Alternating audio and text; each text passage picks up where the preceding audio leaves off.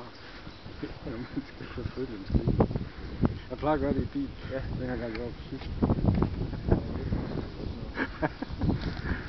Jeg kan bare se den blive længere og længere. Så jeg vidste, at